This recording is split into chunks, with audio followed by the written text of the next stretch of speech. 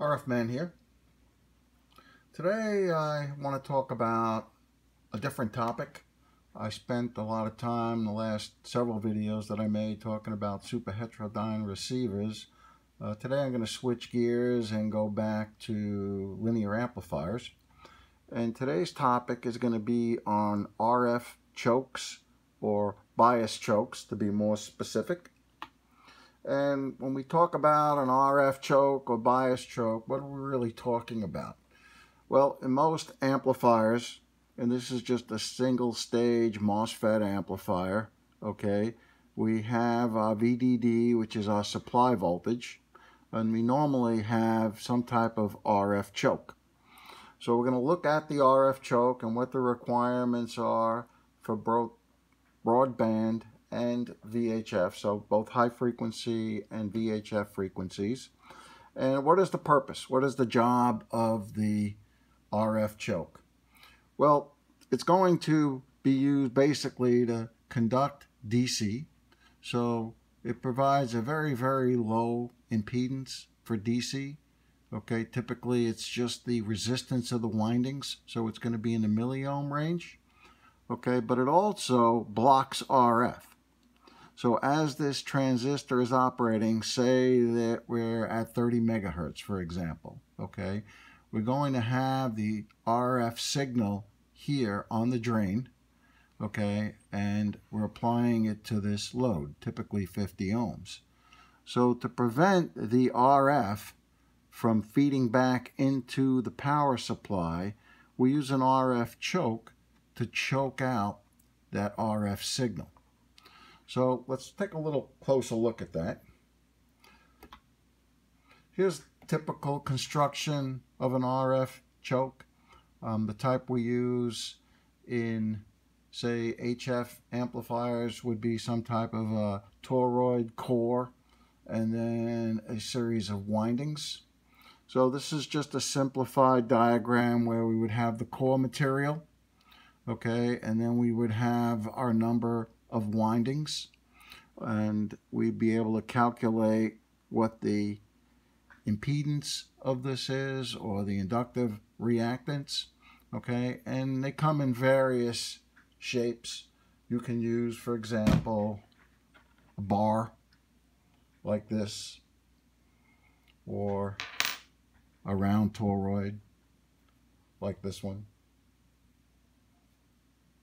And we're going to talk specifically about the requirements for the RF choke. So this is the RF choke that I use on my LD LDMOS amplifiers. It's a one and a half inch toroid. It's the one I just showed. And I'm using material 43 with nine turns. So at nine turns, this gives me an inductance of 46 microhenries. Now, just a couple of comments before we explain how the choke works and why we use material 43 and why we're using nine turns, etc. Okay, um, this is just a simple diagram that shows the proper way to wind an RF choke. Okay, so this is the correct way where we have a gap in between the windings and we have a fair amount of spacing between each winding and these would be considered the incorrect way. The reason why is because the windings are very close and we could have capacitive coupling between the windings. Okay, and what that will do is add capacitance to the choke and give it a resonant frequency. Okay, and we, and we want to basically design the choke so it doesn't have a very sharp resonant frequency, but has a very broad response. And we'll see that as we go forward on the Nano VNA. So here's what the RF signal would look like without the choke. Okay, my boards operate at 50 volts. They use a BLF 188XR. So I'm running at 50 to 54 volts. And without that choke, I'm applying the 50 volts DC, but I'm going to have a lot of RF ripple, okay, feeding back into the power supply. And in some cases, that ripple can be high enough to affect the power supply's operation or even damage the power supply. So what we do is we put this RF choke in line. I show that here, okay, to choke out the RF and to attenuate that ripple to a fairly low value. So it's not going to affect the power supply operation and it's not going to cause any damage. So typically, um, you want to have a minimum of 500 ohms that's pretty much the design guideline for high frequency. Um, so we're using the formula for inductive reactance, right? 2 times pi times frequency times inductance. Frequencies in hertz. Inductance is in henries. Okay, so the worst case would obviously be the lower frequency. I can see by the formula here, if I decrease the frequency, I decrease the inductive reactance. If I increase the frequency, I increase the inductive reactance. So here it is over the high frequency band. So worst case would be 1.8 megahertz, which is 160 meters. Okay, and we meet that minimum requirement of 508 ohms. Okay, and that's at, again for my choke that I'm using, which is 46 microhenries. And here, of course, at the higher frequency, the impedance is much higher, so we're not too concerned about that. So it's just a simple explanation of what the minimum impedance should be for the choke and what the basic function of the choke is. So how do we want the choke to respond? Well, for high frequency, we want a very broad-banded response. Okay, um, so we're going to look at that first. We don't want a narrow band, okay, because then I'm not going to be attenuating the RF signal over the entire band, right? We have about 28 megahertz of bandwidth from 1.2 megahertz to 30 megahertz. So let's just round that off to 28. So you want a fair amount of attenuation over that entire band. So I'm going to go ahead and set up my uh, my choke that I'm using on my LDMOS boards and we can take a look at the response on the Nano VNA. All right, so now I'm back. I'm using the Nano VNA, which you see there, to sweep the RF choke, which is here. And I'm using port 1 and port 2, so that's S11 and S21. And the way that works, from port 1, we basically send out a signal and then port 2 we receive the signal and we're able to measure how much attenuation we're seeing over a given frequency right remember the choke wants to choke out or attenuate the RF signal so it doesn't reach our power supply so let's take a look at the curves on the Nano VNA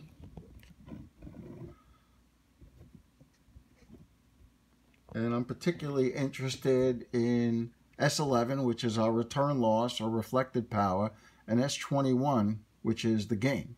So we see right now that the return loss is quite high, okay, and the gain is dropping off significantly. And what you see is it's very broad banded.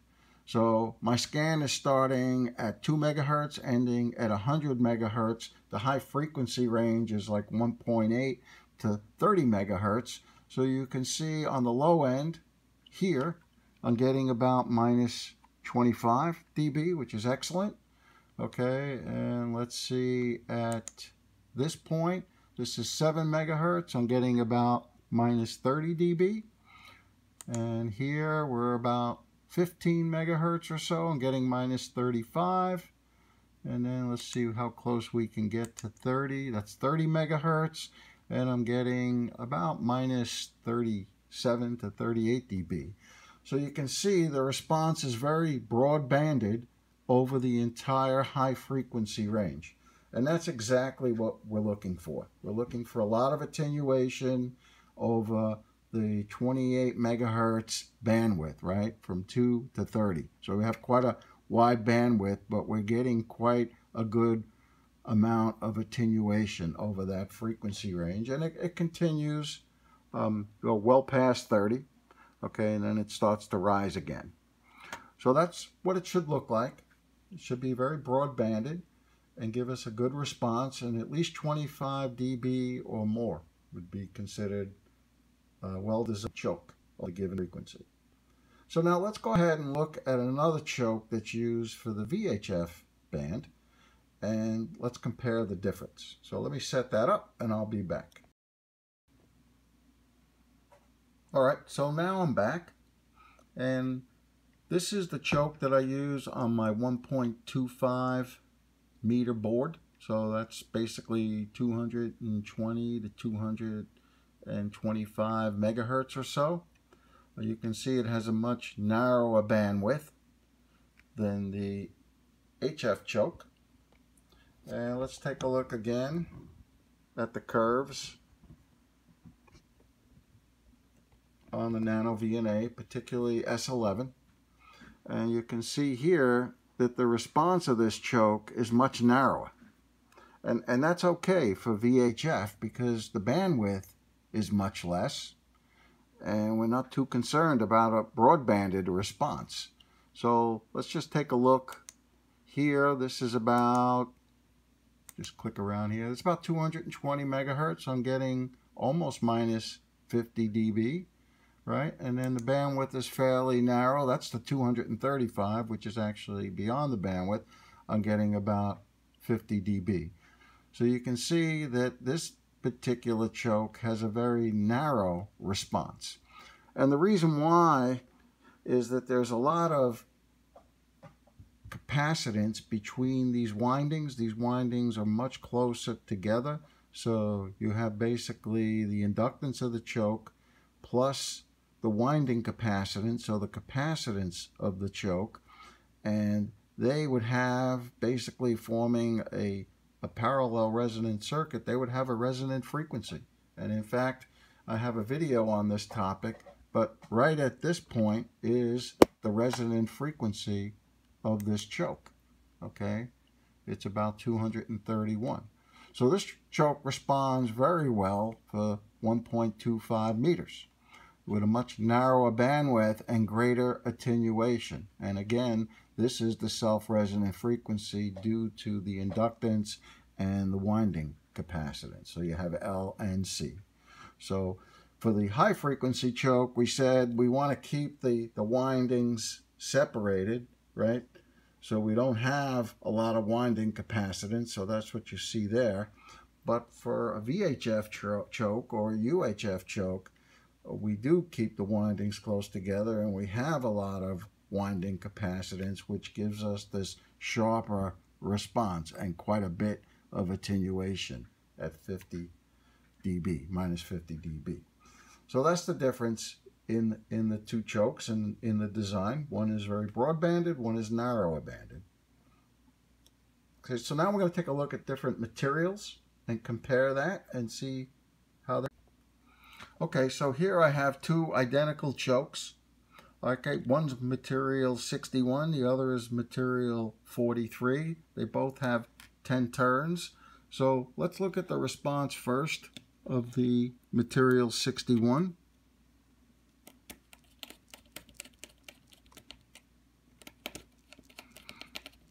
This would have a lower inductive reactance because the material has a lower permeability. And let's scan that. I'm going to change this back to 100 megahertz. So again, more toward the high frequency band. We're going to go from 2 to 30 and see how it responds. Okay, that's correct. So let's sweep that. Okay, and you see, again, and we're concentrating on S11 here you see a very broad-banded response. Okay, from the low end, I'm getting about minus 10.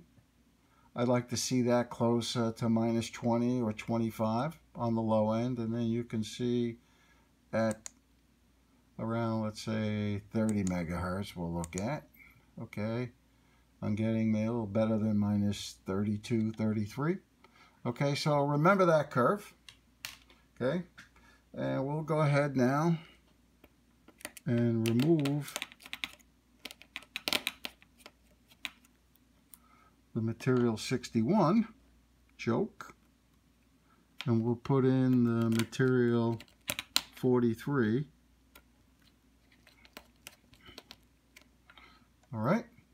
And we'll sweep it again. Now remember where we are here? Low end minus 10 and here about minus 30 okay let's sweep the material 43 okay? And you see at the low end you get a much better response with the higher permeability material of 43 okay? Low end doesn't change all that much. Um, 30 megahertz is almost minus 35 so so we have dramatic improvement on the low end and some improvement on on the high end over the high frequency response.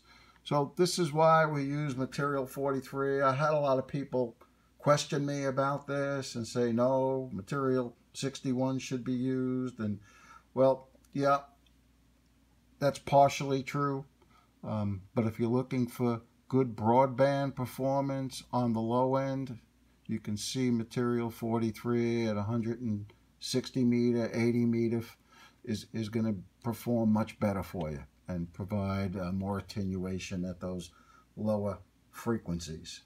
Um, we don't really have to worry too much about core saturation here because it's only the RF ripple um, that that's that's a factor here that we're concerned with. So that's a, a brief demonstration um, of looking at an RF choke, looking at one design that's broadbanded and why it's broadbanded, looking at one that's more narrow banded and, and why we use the narrower band, and then comparing material 61 and material 43 and looking at the difference in the responses.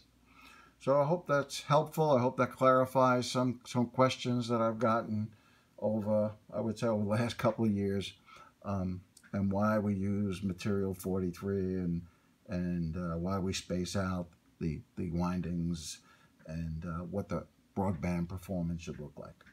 So I hope that was helpful. Um, RF Man.